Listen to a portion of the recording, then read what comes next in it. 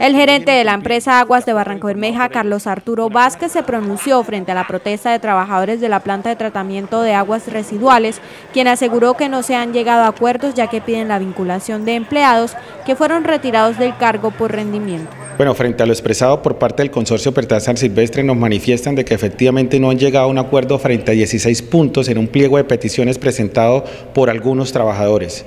La consecuencia de esto es porque el consorcio Petar San Silvestre tomó la decisión de desvincular a alguno de ellos como quiera que no venían haciendo el suficiente rendimiento en la ejecución de la obra y bajo el contexto desde el punto de vista legal y de acuerdo a la legislación laboral tomaron la decisión de desvincularlo del proyecto Petar San Silvestre.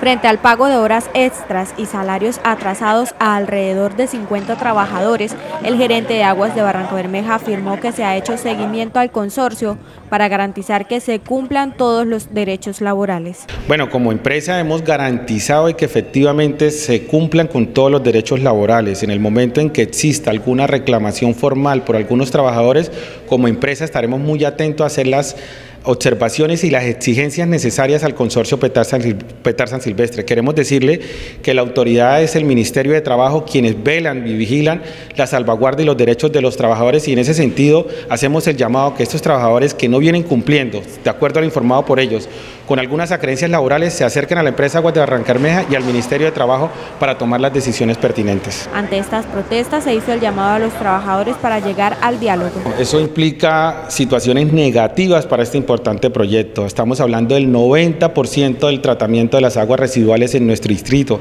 Estamos trabajando desde la Alcaldía Distrital y Aguas de Barrancarmeja para sanear el distrito y con esta situación que se viene presentando definitivamente no nos va a permitir avanzar como lo queremos hacer. Entonces la invitación es a concertar, dialogar y a permitir que bajo el interés colectivo logremos que este proyecto salga adelante. Se espera que se puedan dar los diálogos necesarios para llegar a acuerdos y poder solucionar esta problemática.